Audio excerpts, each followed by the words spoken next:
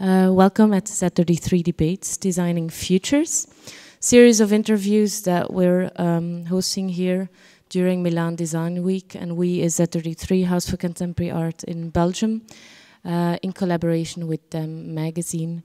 My name is Karen Verschooren. I work as a curator for Z33. Um, and I think most of you probably know us through our thematic exhibitions in which we try to connect to um, relevant, urgent, complex problems of everyday life through art and design. We try to look for deeper, more alternative meanings, and that's exactly what we're trying to do as well in this series of interviews. On Tuesday, we discussed design and future thinking, or maybe I should better say design and future facilitating with Tobias Revell. Yesterday we had an interesting discussion with uh, Joseph Grima about the idea for a European Design Parliament, and tomorrow we're going to tackle the question what Milan Design Week might mean for discourse and critique. Um, but today we're going to discuss mentorship and collaboration, which maybe I can say is the modus operandi for the Bio 50 Ljubljana Design Biennial this year. Jan will be discussing this topic with Aldo Bakker and Rianne Makkink. And we're very happy to have also Vera Sacchetti here, who wrote the first response um, based on the kickoff meetings that Bio50 had in February. So uh, before I hand the mic over to Jan, maybe a couple of practical issues. If you'd like to tweet about the Z33 debates, that's great, very encouraged. We're using the hashtag Z33 debates or Z33 Milan. If you still like to reserve a seat for tomorrow, that's possible as well. Just come up and talk to me afterwards. Um, a third thing is uh, we very much encourage participation in this debate, and Jan will probably actively seek people out. Um, we're going to try and pass the mic on. It's not because we don't think your voice can carry it, but it's because we really want to video record all of this. And the video recordings will be put on our Z33 research website, which just launched a couple of days ago. Lastly, uh, we're in this beautiful Galleria del Tiepolo, but it comes with a couple of restrictions. No food or drinks are allowed, and please be very careful not to lean against the walls. Um, but that's all I have to say now, uh, so I'm going to pass the mic on to Jan. Welcome, everybody, in this uh, beautiful Sala Tiepolo. Um, what I would like to say as an introduction, uh, it is about Z33 and it's about bio. It's also a little bit um, about what we do at uh, the academy because there I uh, started to learn and to work together and collaborate with Rianne and Aldo.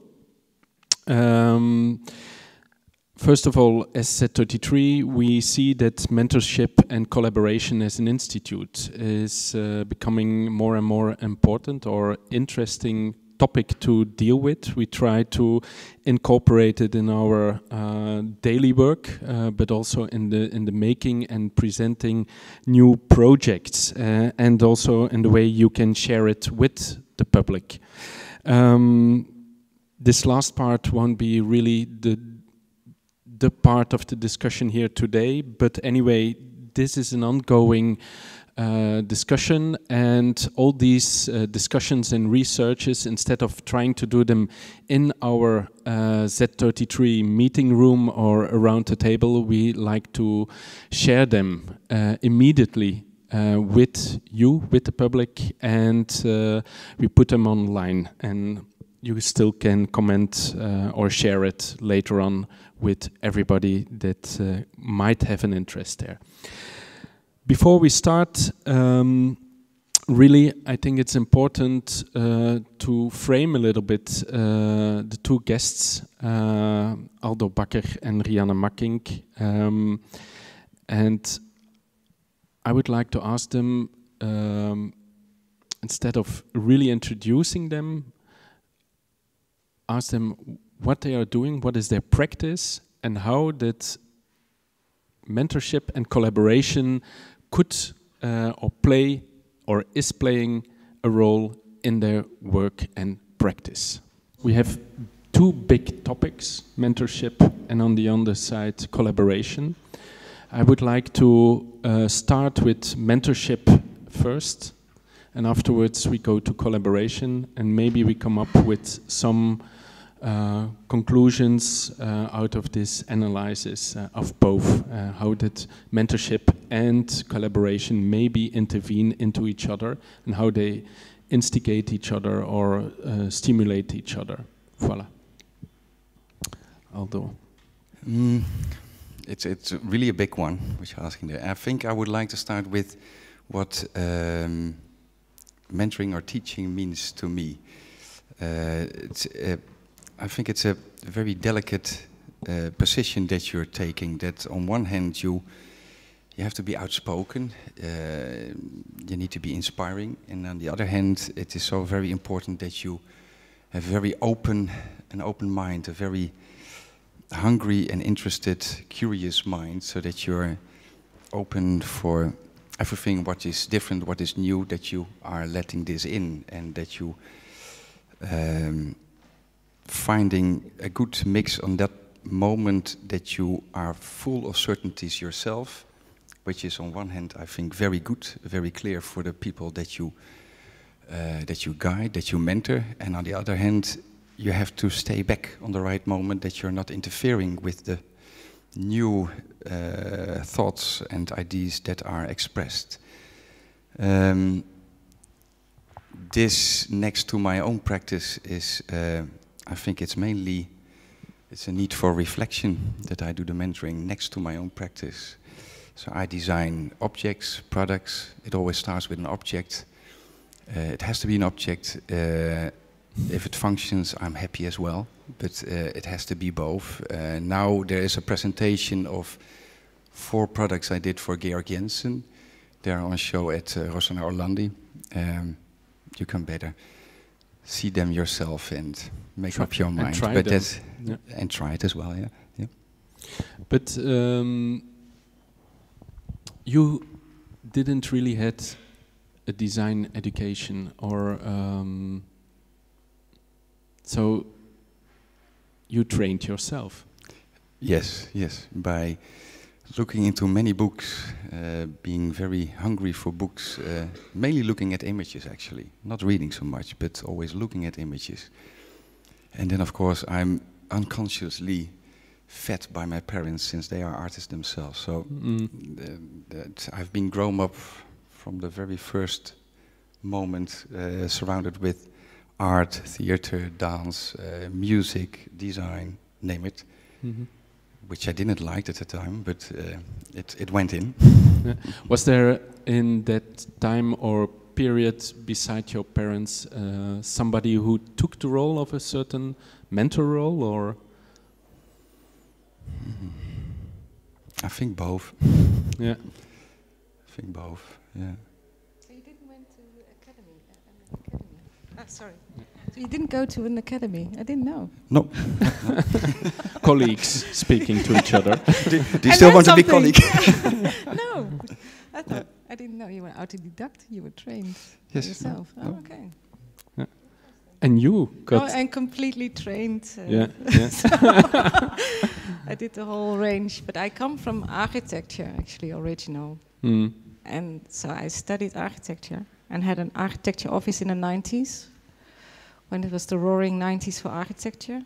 And then I uh, stopped the architecture business because it takes a long time, at least seven years, when something is going to be produced. And then like, this whole looping Circle. of circle, I couldn't take it any longer. Mhm.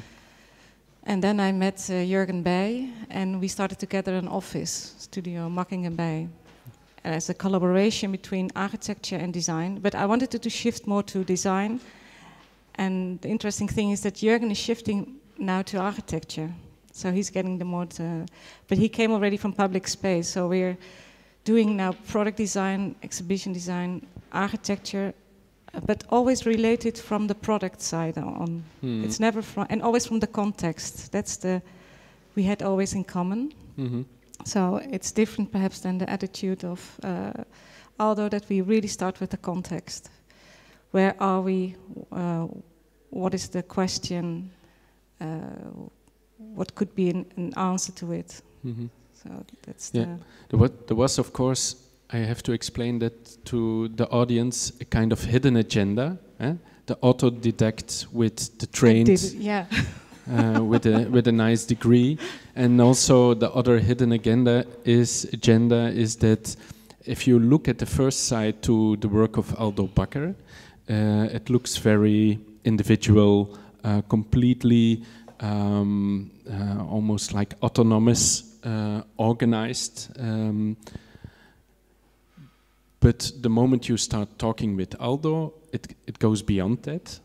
Uh, I think, or that's at least my uh, perception. And if you look to the work of Rianne and Jürgen, then you also you see that the collective, uh, the, the the studio itself, and how that is organized as a as a place. Because I had the chance and the opportunity to push some people to their um, yeah the working place, the office, uh, and I thought at a certain moment this is maybe a better school uh, than what we try to do in the academy.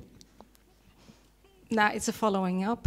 I think it's a, like a training after your uh, training in the. It's a training in the real world, perhaps. And the studio is still a very uh, uh, safe base to start from. And, and we give them a lot of freedom because we're really a studio. We're not the, the star designers uh, uh, from the outside, perhaps, but the studio is doing the work. And they ha have a lot of freedom. They can develop themselves very well within the studio. And we always work with trainees uh, first. They come in, and then we, in the end, we give them perhaps a job. So it's always like starting. We don't hire people from uh, like that. We're scouting from in general, but we train them also through first the internship and then one day and then going on. So. so. it's really building up a relation. Yeah, yeah. yeah, yeah. Is it the same for you, Aldo? Uh, uh, especially this last word, what you use. Yeah. Yes, it is. It is a relation, mm -hmm. um, and so. Uh, in my studio, uh, I've, I've never visited your studio, no. and, and, you never visited mine. so I don't know how big it is in your case and how much people there are working. In my studio, it's, it's very small. And that has probably to do with this relational aspect, that I can't build up a relation with so many people at the same time. And uh, there isn't always the click. Um, but it is uh, inherent, I think, uh, well, in, in my line of work, it is so very personal that you can't avoid relation. And that's a very interesting aspect if you think of trying to separate the work from the private. But you're mentioning it's very personal, but on the other hand, I also know that the relation and mm. the, the, freedom that you give to mm. you sometimes almost give a sketch to uh, a craftsman where you have a relation with to for instance Franz Otting, and he exactly. comes back to you that's that's that's the the result of an investment that you do in in in each other. Yeah. So that you collaborate. So I'm I'm um, when there is this click and I start a collaboration, then this collaboration, uh, in the best the best. Uh, or the ideal situation is is that it is a relation that lasts for many years. So you uh, go along together and you and you grow together and you mm. learn from each other and and you really invest in each other, you know very well how to react on the other person. Yeah. And if I look back to the first vi I visited uh, you know place, uh, what I what I saw the, the first time I visited, I immediately understood the whole work and the practice of the studio.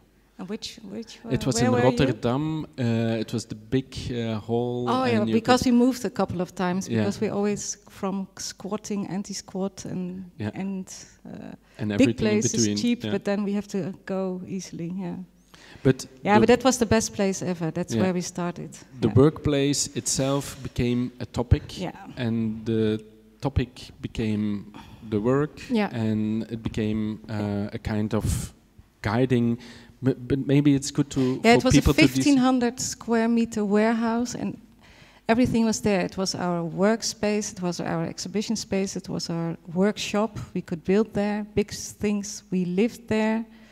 We had a lot of trucks because it was very cold in winter, so we had to squeeze with the space in winter because then you have to heat up your own little we learned a lot from the space, and that's what I mean also about context. From this context, we learned much more than we're now more in an office uh, building, or not not even an office building, where it's it's more uh, designed as a as a row, and you, then you design you're going to sit there like an office, and then you're limited, and then you go limit yourself also within the computer. We're now mm. working much more from the computer on, instead of this big warehouse was everything was everything you could uh, the whole concept of the ear chair and the uh, little cubicles comes from the big space because you want to concentrate in a bigger space.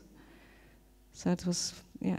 But we have other work now. It's more, it's not that we can't work now anymore. It's different. If you also have another context where you work, yes, in, you also yeah, have yeah, yeah. Noordoostpolder. Yes, I have a farm uh, in the Northeast Polder in the Netherlands, and that's actually the big warehouse, but without an, a roof, because it's also a limited space. It's like an island, and we can explore there a lot.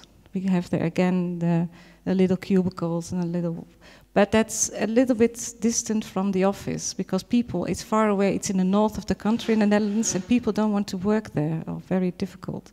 Mm -hmm. So we have there a designer in residence. We invite people to come and work there, so that's different. And sometimes you push also students yeah. to that yeah. place. Yeah. I wish I could uh, have the whole Ljubljana group there. Yeah. yeah. then I then I'm, I can box them and then I know how to train them. Yeah. But um, we touched one thing not really clearly in uh, mentoring. What does it mean for you? What is uh, yeah? Oh, it's it's been all since I've been first I was in architecture um, uh, a tutor, and especially in Belgium. That's uh, I love Belgium. That's uh, a compliment to Jan. But no, I wanted to be away of the Dutch uh, school system, so I was in Belgium introduced at, uh, but from architecture. And then when I stopped with architecture, I had the feeling I couldn't because I need to know the language. Need you have to know the, the words for it and also the feeling for how can I mentor somebody. Mm-hmm. And when I was out of architecture, I had to stop. After four years, I, I had the feeling I'm not anymore within the frame of architecture. So I stopped the architecture uh, schools, and then I came in. Uh, oh, two years later, or th- no, three years later. I think you asked me to come to the design academy. Mm-hmm. And I kept it away a little because I didn't feel I had the language for the design because mm. I'm an autodidact more think uh, in the product design. Of course, architecture always relates to it, but it's another kind of a feeling. And and the mentoring is very important to have a. Um, for me, the students um, bring me a lot. It's it's a, it's a double way of of working you feel close to the reality, uh, close to what is happening now. Sometimes within a studio, you're always with assignments yourself, and students have the the, the lightness of um, of the work still with them. Mm-hmm. And for me, yeah, that's that's the that's why I always wanted to be in mentoring. Okay, that's clear. Um, there is, of course, a kind of conflict in uh, between. You could call bio a kind of extended school. Uh, it's a biennial, uh, but we are focusing on more on the process than really what is uh, the end. So it's uh, what the end result is. Um, the process itself is kind of part of uh, the game, and um, this is quite strange for a biennial where people are commissioned uh, or even if they are not commissioned, they just fly in and they present their work. Uh, now we are working with the context. Uh, you mentioned several times already the word uh, context um, and collaborating from the Netherlands, um, doing a project in Ljubljana with a certain complex context. Uh, that's not easy for you no, no. we, we also have to say no. We I refused to be here actually. Yeah. First, I said I don't want to be here because it's for me. Bio is a.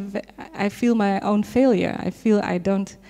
I don't get the grip on any on the whole subject. I don't feel the the student of the student, the young professionals. They're not students mm -hmm. anymore. The young professionals and you want to mentor them or uh, have a relationship with them, but the whole, the interface, the real, the interface as a new way of working for me is a, I, a big, yeah, I'm in trouble because mm -hmm. I Mm-hmm. like to have the one-to-one relation. Mhm. I'm not good with the distance, and also not with the topic. If I'm two weeks in Ljubljana, I, would feel fine, but I you feel have to detached. be on the place. Yes, I really have to be on the so- yeah, yeah, Mhm. and know the pe- and know the people, feel the the surroundings or the neighbor, the nabijheid. Wat zegt? Near. Yeah. Near to the students. Yeah. And is that for you different or? Well, we, we have been staying in the same hotel when we were walking towards and we were sharing. These thoughts. Yes, yes, yes. But um, we were also speaking at how different it is from the teaching in Eindhoven. There, you are a teacher and now you are a mentor. You are. It's indeed what Rianne says. It are young professionals. Um, what is similar to the teaching is that people are coming from everywhere, different disciplines together, which is very interesting. But Mhm. already in Eindhoven, we are struggling in terms of time that it is only two years time and the group is quite big and the cultures are very diverse um, the professions are very diverse the expectations are very diverse and i can go on how to how to bring this together in a way that it really gets direction and that you reach something and that is it's i'm also i'm i'm puzzling a lot about this how to how to how to do this Mhm. yeah, and it's just, well, it's it's it's going on, and I'm I'm looking especially forward to go in the end of April again to Ljubljana and to see everybody again. Mhm.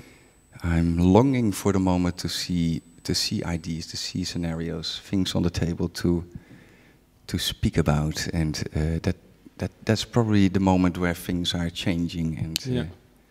so I'm, I'm Now I've, it's I've, a period of in that uh, moment. uh, period of uncertainty, period of um, Yes, it's uh, it, it- so it becomes a period that you, you we have now quite some time also to to doubt our own role or, or to question our own role. There are no there are not so many results now. We are not the creators in this mm, thing in this project. It are the other ones, uh, and uh, we need information to react on. distance is really can be um, of course a problem but uh, being too near or being too to be, to to be involved uh, too much is you already addressed that in the beginning is also a problem you used once the word uh, I, I remember Aldo the word preference that you only can Ah, yes, uh, and I found that a very interesting uh, approach yes, to, to talk more about preferences. yes. Uh, it's less less uh, definitive. It is uh, it is more open in its tone, in its definition. But you can be very clear in speaking in preferences. Um, I think this this is the most exciting aspect of this mentoring teaching job to find the right balance, a, a healthy and a stimulating balance between till which point are you are you stimulating? Are you opening borders? Are you uh, still an example, or what is the moment that it change into that you become a kind of a leader, that you take over, and that you're putting too much of yourself inside? And this is something that you. This is always continuously evolving. Uh, so I'm teaching now for almost 12 years, I think. And uh, I think I started with some kind of a definition, and I, I don't have a definition on this moment anymore. I'm, I'm getting more and more open, and um, also, and I, I'm very mm, patient, or um, I will not say as quickly that mm, that somebody is going into a in this way or in that way, or it is this kind of type, or it is that kind of type. It, this is really very difficult. It is, uh, and it depends on so many different factors. It depends on you. It depends on the academy, the place, the subject, uh, that moment. It's uh, so uh, that is something that you have to take in consideration.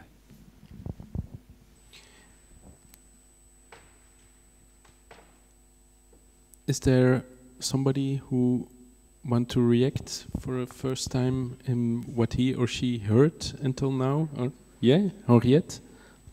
Uh, I'm Henriette Waal. Um, I'm uh, also a, a, colleague of Jan and uh, uh Rianne and Aldo, but I'm also part in the um, uh, uh, biennial, but as a, yeah, as a maker, as a designer.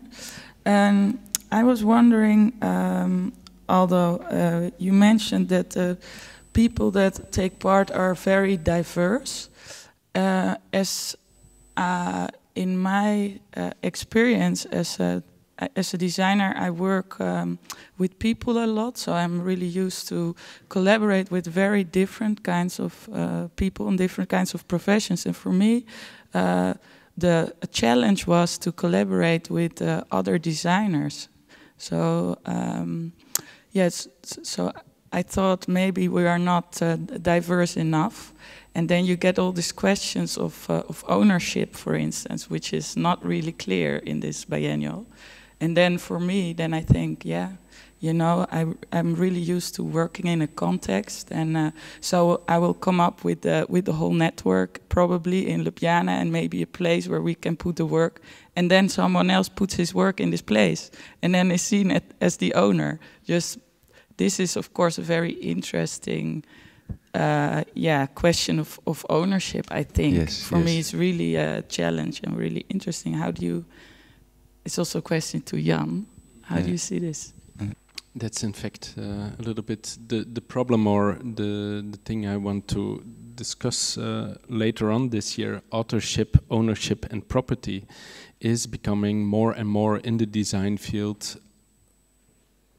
problematic. I don't say a problem, but problematic because it's uh, more and more complex. It's interwoven. Uh, you cannot split it anymore. Even um, yesterday evening, uh, in a discussion with a company as they have a huge problem with this. Uh, authorship is uh, one of their uh, biggest problems, in fact.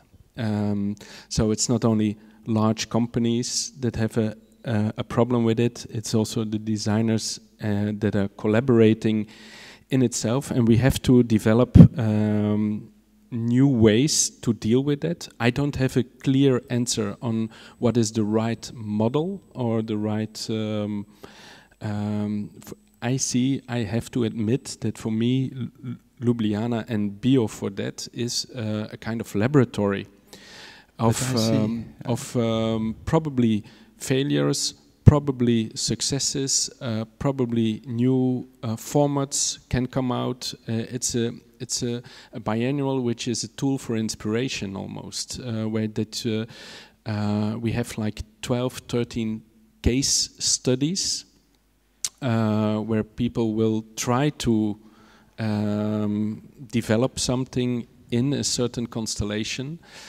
that will drop out, will come in at a certain moment uh, and but so I think that uh, I think you we can say that more and more disciplines are coming or with the merging of different disciplines more disciplines are born. With that there are more di uh, disciplines you can say that it is it becomes more gray in a way. On one hand it's more rich on the other hand it's more gray.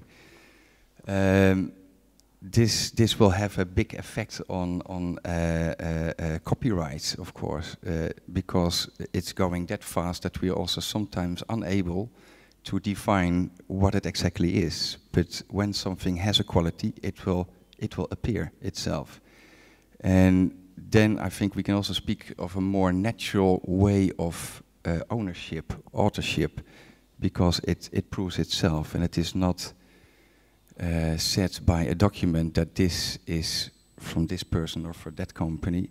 Recently read a little story about Eindhoven, about the light bulbs, how that went, and it's very interesting. There was the light bulbs?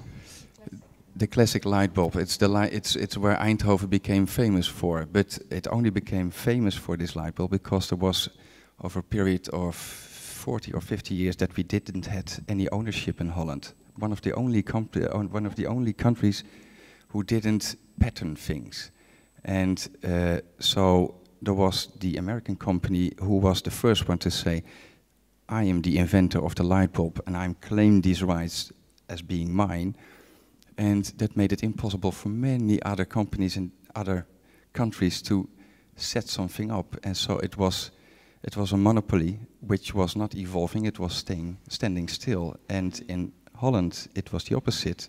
There were not any kind of these rules. And so there was a Philips company that were able to, to do its thing, and we became very big. Uh, doing not the same thing, but a similar thing. And then it's interesting to speak about the differences because there's always a difference. And so I believe this will I, it will go more and more way, uh, mm -hmm. and it will become I think more and more natural. Yeah. What I, what I see in your both practices is that each time you do a project, you really are very careful in mentioning the people that are participating in the projects. Yeah, that's and that's. Uh, we have big discussions about it because it's then you only get always the we are a studio and then you can only getting the designers on the list. But we have more. We're not a studio. There, there's also an office manager. There's somebody who's writing. There's somebody who's perhaps cleaning. and it's not only you are you're working together. It's not only the designer who's doing it. That's why, yeah, of course, um, our names are attached to it, Jurgen to the studio. Um, but it's still, yeah, sometimes the people, we try to give them more uh, a podium, yeah, and, and that they're going to give lectures, that the name is more established. They, and, but then they also can, they will work for their own. We have a lot of them, a lot of them, like Harriet has been working with us as a freelancer. I yeah. didn't know that. yeah, yeah, yeah. No, she was from an internship to uh, working. She had a whole phase uh, going through. So she, then she's becoming more independent. But the studio, as a studio, I want to have it like a whole. I wish we could only call it a studio. I, my first, first we wanted to call it a bureau, but we didn't manage to do it. So it's a shame. Yeah. Aldo disagree. Yeah, because um, no, that I think the, the, the personal aspect is very important. I myself, as as somebody who's interested in so many things, when I, when I'm when I'm searching for things, I want to know the source. Where is it coming from? Who is responsible? Um, and so it is. Uh, but then still, it, it, doesn't make it easy to find the right. Uh, well, to well, easily you are mentioning too many people on the, on the wrong moment and it becomes boring. And, and it doesn't work and people are not interested anymore. So it is, it, you have to find a way that to find the people that are especially in relation with that certain subject that you are mm. dealing with. But do with. you mention the people who are working for you? Yes. Yeah? Yeah, yeah, okay. yeah, yeah. yeah. Mm -hmm. More questions, topics? Now about the ownership, it's quite interesting because it's also from I, I recognize with Ljubljana with Bio because they're young professionals and everybody sees this as a as a platform to continue what they have been doing already before. So they're already starting with a kind of a, a starting point and they want to build it further, especially with affordable living. They want to build it from there, from that point, they want to start. So that's interesting. So the group, as a group, everybody wants to plug in almost their own topic. Okay, interesting. And that's uh, that's now a little bit the that's scattering. The that's yeah. the tension. That's that the tension also. Yeah. Yeah. Between the individual or the collective participation. Yeah. yeah, but also logic. I think. I it's think it's also logic. Very, I very natural. If you see how many moments there are throughout the whole year to come together, to celebrate, to to to exhibit, to to debate, to to do, to take part on, I don't know how many things. If you want to continue a line of, of interest, of, of uh, to, to build something in a way. Uh, I, I see this as a very constructive something. It can be in the way no, as, as, well, but but it's constructive yeah. No, well. but I think it's also the, the challenge and the good thing about the bio that yeah. it could be a kind of a platform also for young professionals in a new kind of context. That's yeah. what I see there the challenge now at the moment. Say, okay, what you've been done before, how can you relate it to this kind of context? How can we bring it further? Mm-hmm. And how make we sure that it's not only a Slovenian project and that it can become a metaphor for many other places. That's my, uh, at least my ambitious, that I hope that it goes beyond uh, that context. Um, you, yeah, I'm asking Tulga, I'm looking especially to Tulga because this was kind of discussion between designers and designers, uh, designers and craftsmen, designers and collaborators, but you are guiding there, and you did that also in the past, uh, really the collaborations with the companies, uh, which has a complete other dynamic but uh, I think some of the elements like relationship, ownership, um, are also crucial there. Um, how is that problematic, or is it? Every designer would tell you that the respect and the trust with the company is crucial to a good work. In this particular kind of project, where you where you don't have a classic setting saying there's a commission and there is a product that has to go on the market, but have this open process way of working, approaching each other, getting to know each other. The guidance is probably quite important. And uh, what I learned over the years when we did the project in Vienna is that the most difficult thing is when, funny enough, especially female designers who are, might not be respected well enough by the, by the companies, they never complain. They stay quiet and pretend to be super tough, and in the end, they're in, they're, it, it, it, it's really difficult. In the end, when the project has been presented, they say, you know, it was super difficult, but I did it. And I wish, like Line, who communicates and says, listen, we have to be aware that some things are not working. And this, this is where, so we need all, especially in this particular case where I can't be there. Um, this sign, I need help. Yeah, let's please look at this and do you understand or can you? So the guidance, I think, in a project where the, in this particular case, the companies, the craft people have never worked with designers before, and that's what we did in Vienna too. And the designers is extremely important. So you have to be very careful not to, not to push it anywhere, not to interfere, but maybe be the translator, maybe try to find the right words that somebody somebody else is missing to help the other to to get back on track. But bottom line if the company doesn't open up and doesn't trust and doesn't want to share you're lost. You can't guide as much as you want. Yeah trust as a keyword yeah and sharing as a keyword so um, not even before we come to authorship and ownership, it's sharing of knowledge. Mm. And it's not always natural that they do, particularly small craft companies. They feel very protective about their knowledge, and that's very interesting. So it takes sometimes a long time that they understand how much they profit from a designer mm -hmm. um, when they share their there knowledge.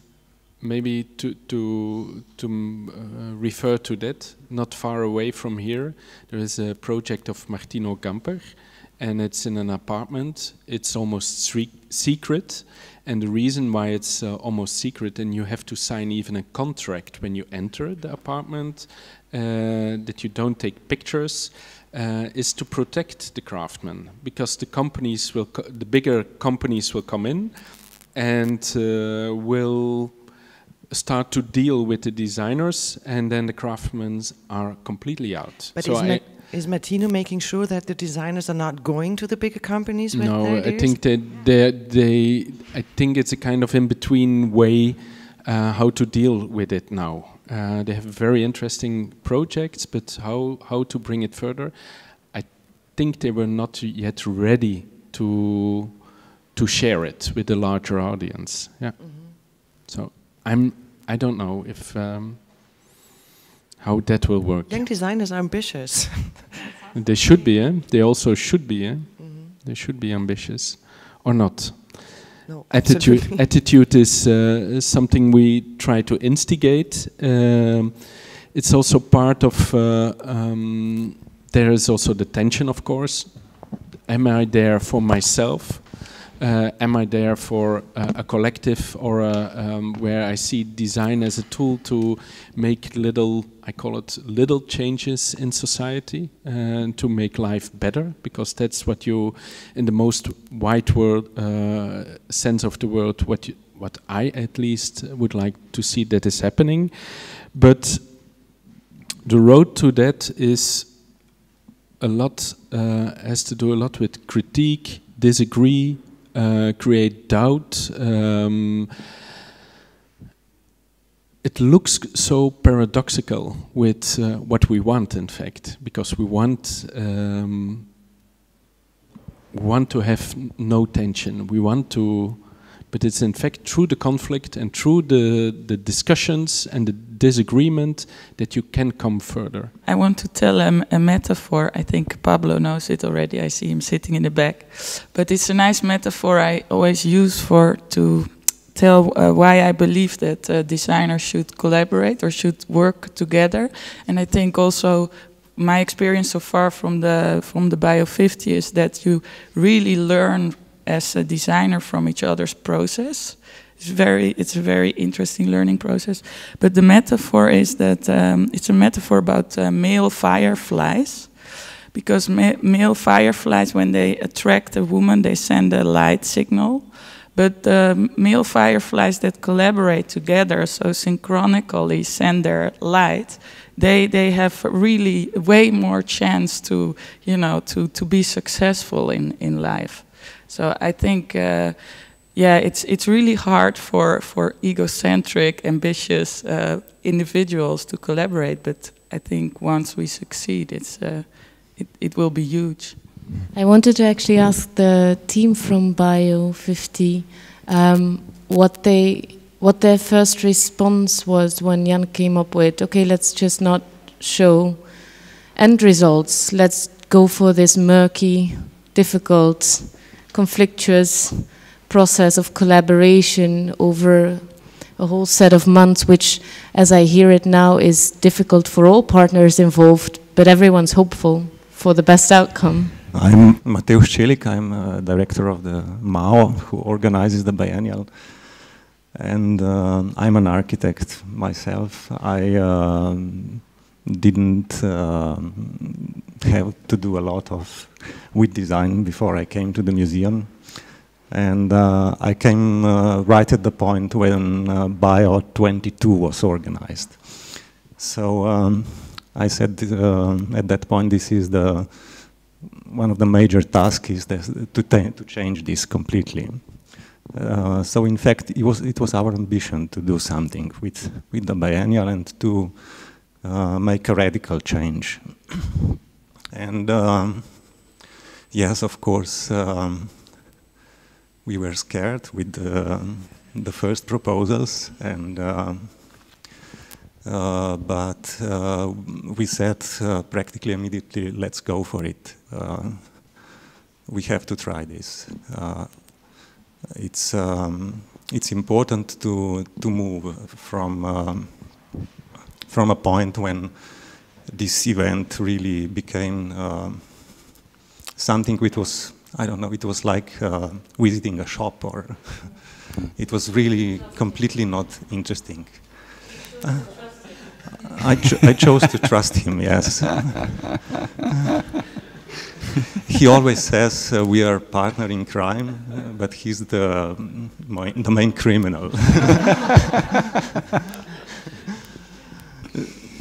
so, um, yes, I, I think um, also um, we don't know what will come up, but I, and uh, it is a, a, a, period of uncertainty now. But, I, but I, I agree. yeah, and, it, and it's uh, it's it's this this one habit from creative people hey, that we are so interested and so eager to to do something that we that we do it so that we dive in. Uh, so there is there is always some kind of trust, but maybe you should not question the trust in a in an early stage because very difficult yes. to describe what it is. It's it's more uh, something that you want. And then thinking about it, it's in the beginning, it is more that you so much time and attention goes towards the subject. It's it's new to you. Uh, what is your role? How how to how to start? Uh, uh, but that's why I'm looking forward so much for this second meeting when everybody has been thinking about it already and finds its own little niche, its own little island, and that is the moment where it is not so much about how to do this, but then it's more of something is on the table and we can speak about what is on the table and, and then it will find its way. But your group is coming to Ljubljana. Yes, The whole group? yes, yes, Okay. yeah, yeah. Good. Our group not yet, because everybody has to do it themselves. Have to pay for their own trip, everything. That's that's what I think very interesting about this eagerness of going on your own account and, and own money, going to Ljubljana and doing this project. I was very surprised how many people entered the, tried to get in. I said, Are everybody's un- unemployed. What has happened to? We had 600 applications, in Yeah. fact, from I think Anya, oops, Yeah. sorry, 23 countries. It's amazing, Uh, yeah. and that's what that I think. This, that's already the biggest uh, Mhm. win uh, situation. Is like, wow, that's good. But I don't know. th- There are always expectations, and that's the whole to manage these expectations. That's now I'm an, an I don't know to give a good direction. You know, if, with uh, when you're in, in, in a school mentoring, you know the end. You know the end. You know where to go to, and there is not now uh, an end.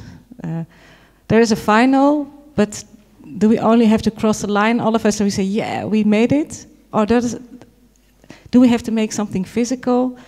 Everybody's a little bit in looking for it, yeah, because there's not money involved. So how much energy you're going to put in? What is the? And there, I think there is the. When with the competition, you also know the end. And this is like a f- we're in the middle of the forest and we don't know the way out. So it's like a jungle. Are we going to get lost and disappear, evaporate, or? And that's my biggest struggle, actually. I don't know if somebody. I see some. Lucas is in my group. I think he also. We just talked. Uh, are there more members of the group of the other groups here? Yeah, water. You're from the water group. Lena, you're from the crafts. Yeah. Um, I have a question regarding the mentorship, uh, because, for example, in Slovenian context, the mentor, the structure of who is a mentor, and it's very hierarchical. Usually, mentor is only one person, and in biennial context, in majority of the themes, there are in fact two mentors. So you are co-mentoring with the local mentor. How do you see this collaboration? Is this easier for you, more difficult? Because it's another. Uh, and it's not the only collaboration between you and participants, but also between another mentor. I'm very happy. So I'm collaborating with uh, Marco, and Marco is from Ljubljana, and he is uh, active in, in, in the water water uh, arrangements in Ljubljana. So he is deeply into into this system, how to deal with water in Ljubljana, and.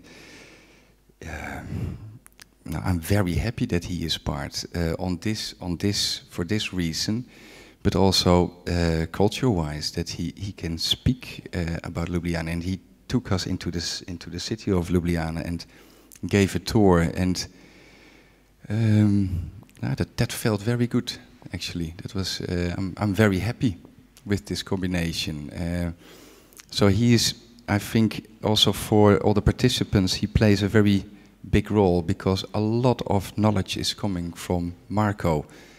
Um, and on this point, that is more important for the participants than my role as a mentor to, to speak about that comes later, eh, to what to do with all this information.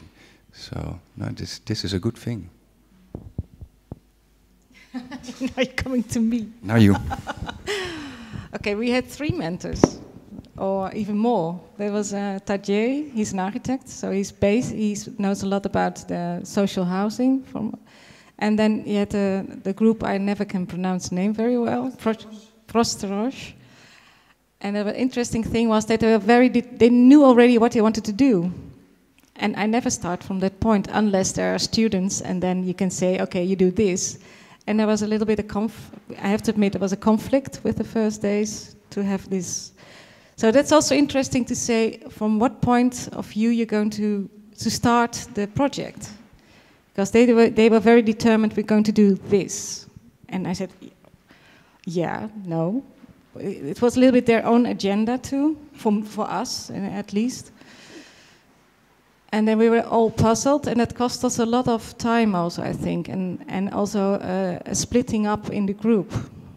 And hopefully, it will, uh, will correct itself, uh, because some of them are still working with them.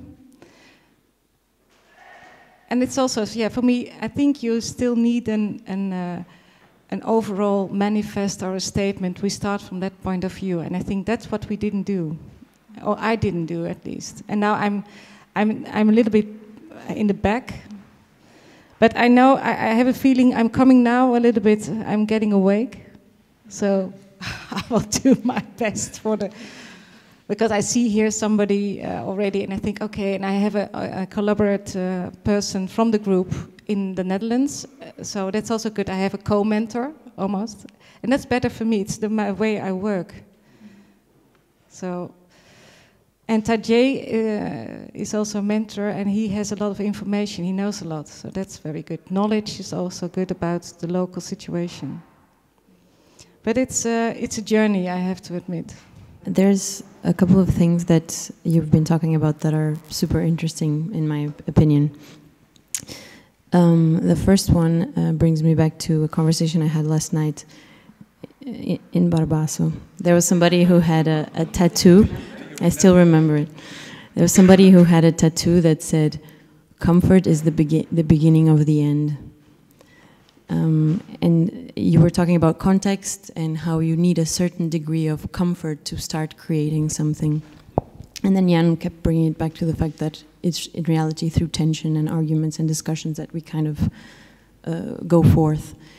And as mainly a spectator in the first uh, weekend of, of Bio, and both you, Aldo, and Rianne saw me sort of sitting there and listening, and it, it was very fascinating for me to observe how people kept getting pushed out of their comfort zones. And it was very challenging for everybody. And there were these moments of really stress and we don't really know what we're doing. Like Rianne just said it's like we're in the middle of the woods and we don't know how to get out. And it's panic in general.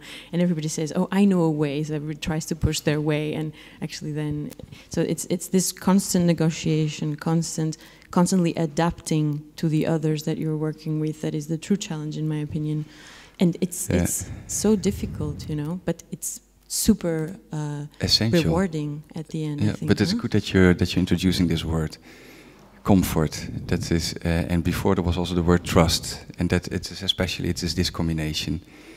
Um, but that's a subject on itself. It's very interesting to speak about comfort because you you need a certain time investment, a certain comfort to to reach a certain stage of of of interest. But uh, well, then it's only, or it is the best if it is you that is able to see, okay, now it's getting too comfortable. And uh, then you start to repeat things, you start to polish things which it's not getting brighter, it's only, But this for me is the true Yeah. value of, of, of mentorship because Yes. you have to you have to know when to stop going into the comfort Absolutely. zone and ha- you have to Yeah. know when to go into the comfort and in this sort of articulating and mediating this relationship be with with students or how Tulga did it with company I mean this is the, the, the trick you know and Yes. the challenge in Yeah. my opinion for the future I would say of design education and uh, of, of, of educating in design it's true. you know? It's therefore, it is also no leadership, it is much more based on trust.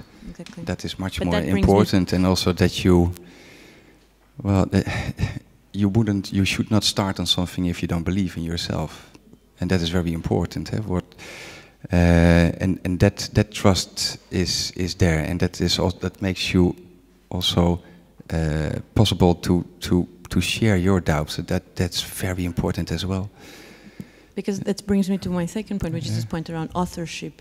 And it seems that, you know, because design education was sort of formed within this sort of modernist canon, this idea of we must be the author of something is so important. But then at the same time, you were just talking here about this idea that people need to share, they need to open their process, they need, you know, because that's the only way that we're going to advance. So going from this individual authorship to sort of group authorship, or to sort of how authorship actually is, like you said, Yeah. fluid and not that Yeah. important, and sort of somehow speaks for itself at some point, you know. Yeah. So if we could all just let go of this idea that we all need to author something, maybe yeah, then. but, we it's, mix it's things. hard, we mix huh? things. The other one that is more a kind of a claim on life. It's it's our uncertainty that we want to be an author of something, and and we confuse that with. Uh, because on the other side, when you speak of creativity, this is a, a very natural process. You need to let, you need to, to trust this and to let this go, and then the quality will it will come out. It will show itself, and the authorship will will find its way. It is something that you can't force. That's impossible. Mm. Yeah. Yeah, but with a product, it's quite uh, Exactly. handy. You There need an go. authors or you need an authorship one way or the other. You can share it in the in the thinking, but uh, for the product making, or it's it's uh, you also Yeah, put your name underneath your products. You don't. Yeah, but it is. It's not so much that it is underneath the product. This product is one of the uh, examples that uh, show my way of experiencing this earth, this life, my my my way of thinking, and it is part of an oeuvre. So it is never. It is never a, a object which reacts directly on a uh, wave that we are in. It is an, an ongoing uh, oeuvre which is being built, and I take full responsible for that. That is very important, I think. Uh, so when people don't like it, they can they can find me and they can say it to me. But more important Uh, than authorship, I think this idea of responsibility is actually much more important. you yes, know? Yes. And and somehow uh, maybe if we could shift the, the discussion or the focus from the authorship to the responsibility, Yes, then maybe it would be uh, a lot more interesting. Actually, I think so, yeah. So, but the the last thing I would like to say is just that I think Bio 50 is a completely insane but genius effort. So as all the insane and genius efforts that have been done in the past, the, it's always in the limit of something. And um, this edge is just the edge that everybody that is involved has to tread. In the end, we don't know what it will be, but uh, it's going to be both genius and insane, for sure. just came into my mind regarding the authorship. Like, uh, what would you, what would be your comment on the authorship issues uh, in the context of this uh, growing uh, trend of open source of everything? Uh, how, how much time do we have? I also would like to refer to Lucas here. He participated in open structures of uh, Thomas Lommée, and yeah, that is completely part of uh, what you could say a kind of. Uh, yeah, yeah, th- th- that was the the, the second se- sentence. Uh, um, also, Thomas has a problem with that. He doesn't know how to deal with it. Uh, Jana Scholze of uh, Victoria and Albert Museum is here. Also, she knows that discussion. Uh, but why is that? Because it's very clear. He is the he is the inventor of this system. and then, wait. Yeah, but now it's constantly happening that people uh, do their designs, upload it with their name Yes. connected to it, and even those elements people upload are open to others to be ad- adapted. And Yeah. at the moment, that's in the most cases quite easy because no one is doing really business with it. But Yeah, but I it- think it- then it- it, becomes a bit unclear. I feel that myself now because I'm developing some things further. But the reason that we are this rich, this far, is that we always build on our last generation. So it is Thomas Lommée. It's a, it's a, it's, it's like a dense illustration of how life works. Yeah, so somebody uh, takes the risk, or have an idea, takes the risk, risk and uh, uh, creates something, creates a podium, a, a start, a beginning, and the next one follows. It is, it's more a matter of time.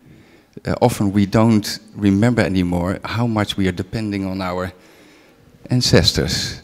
But if we dive into history, we see that sometimes we are very much. Uh, uh, um, uh, uh, what's what's the word? In, uh, um, um, we think that it is our own idea, our own solution, but often it isn't. It's a new interpretation of something that exists already.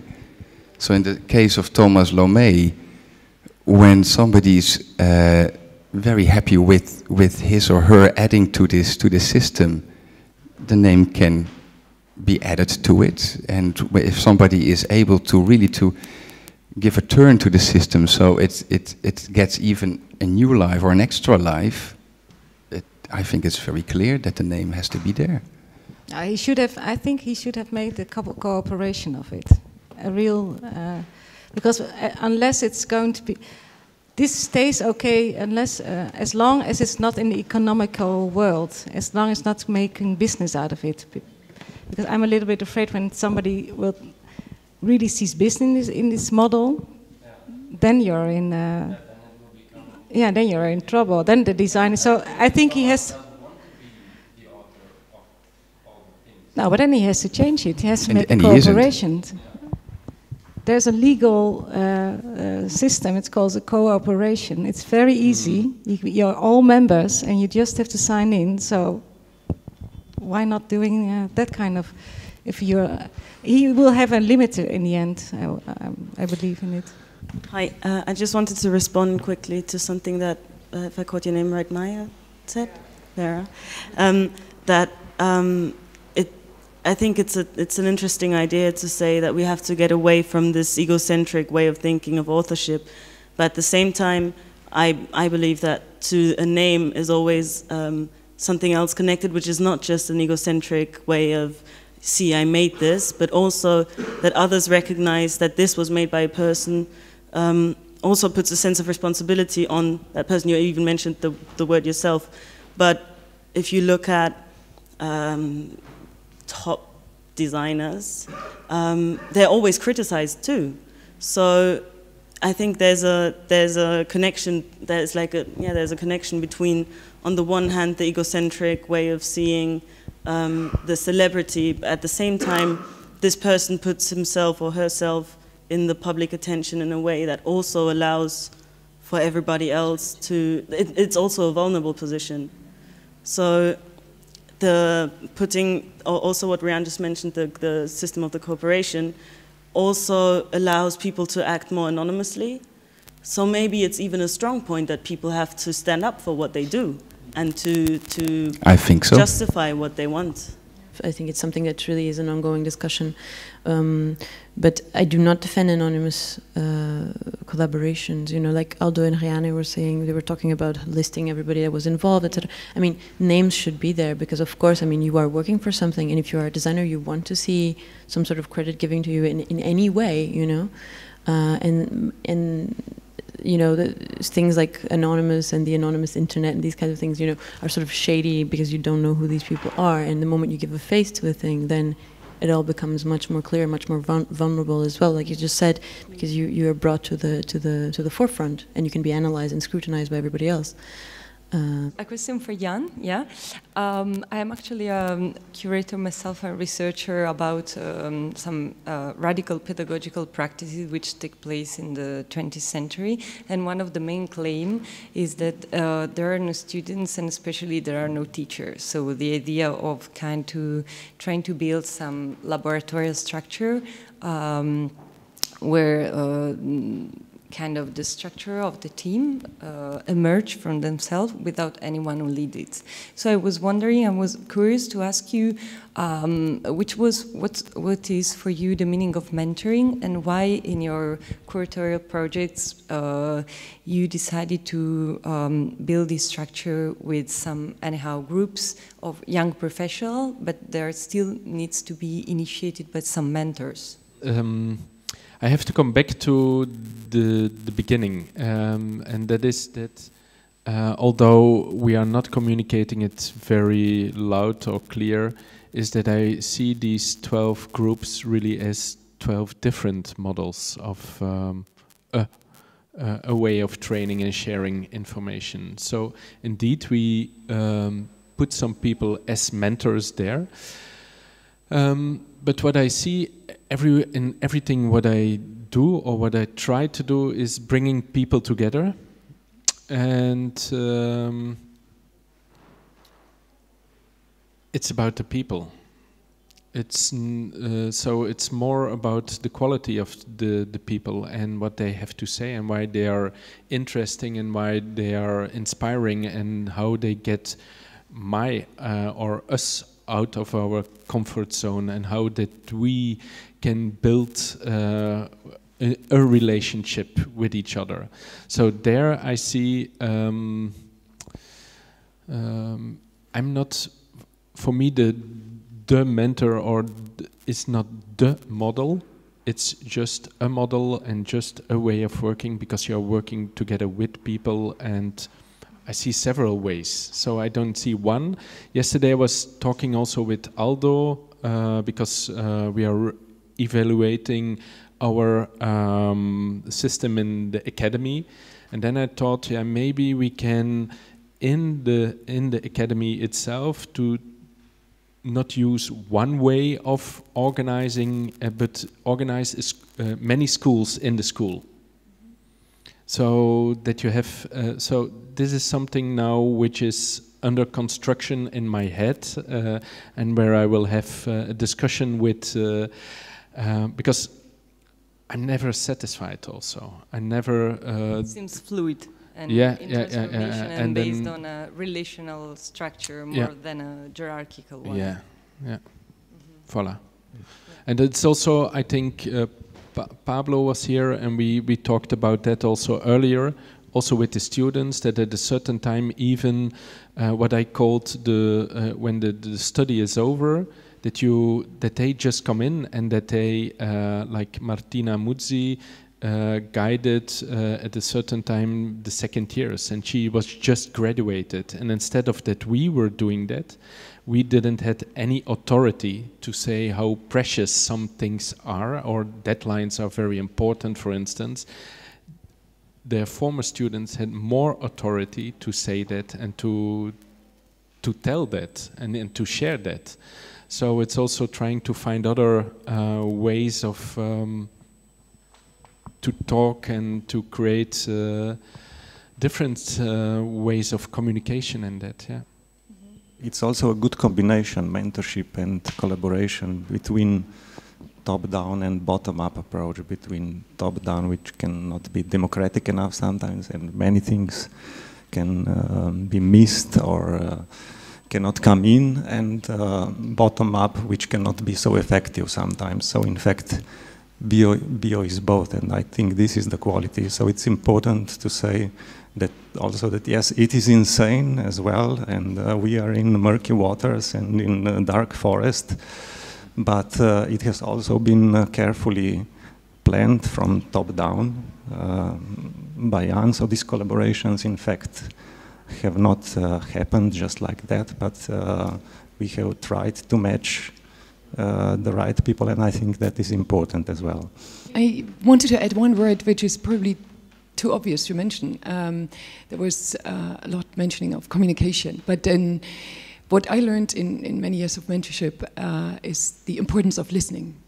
And I think it is very important not to talk too much and to listen because there's so much misunderstanding. And I find it fascinating what designers kind of, with what kind of preconceptions they come and, and ideas and and it goes completely wrong when you kind of just text and and try to overload something. And in terms of designers, um, what what was quite new to me recently is is something where I think it's so logic, but because everyone comes from from um, a background of making, and that in terms of collaboration, quite often I see here that there are too many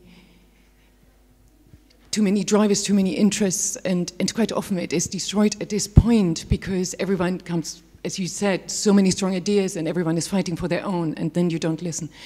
Um, I was recently in, in South Africa and I was in, really impressed by how many people there were interested in collaboration but completely unintentional.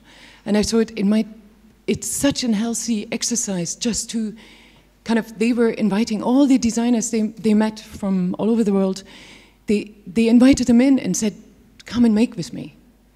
But without any kind of, there was no, no agenda behind, no aim. And I was like, this is so interesting. Just, and somehow I feel we have lost that. And very often we don't do that That's all. it has everything to do.